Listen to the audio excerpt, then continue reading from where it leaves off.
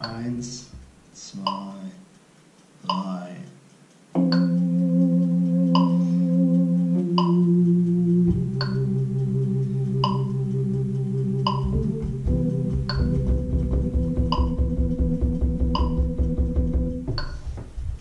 Unseres Herzens.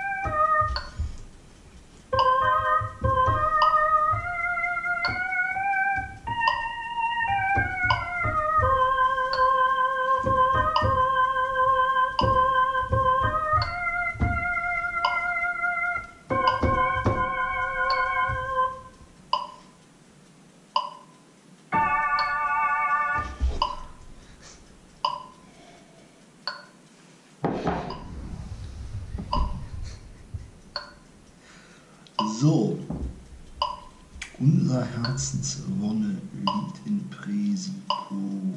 Pio.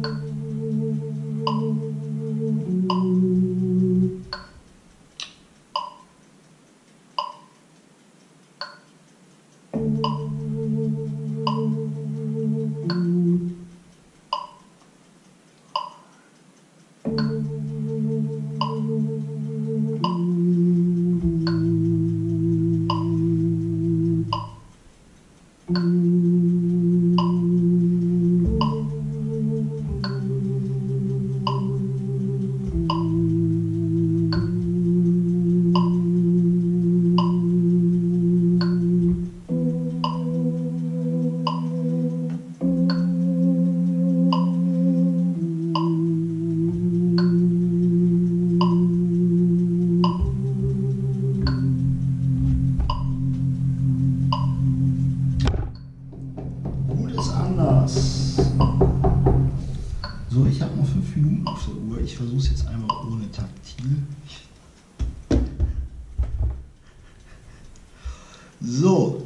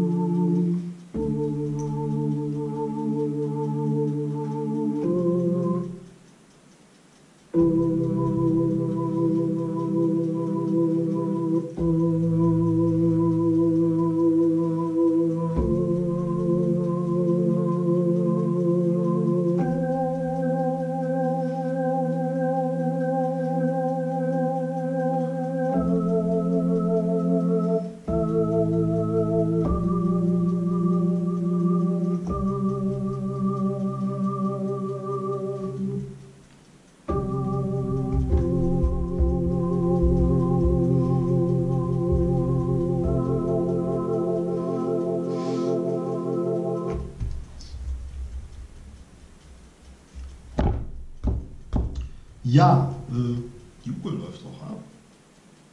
Ich habe die linke Hand geübt vorher.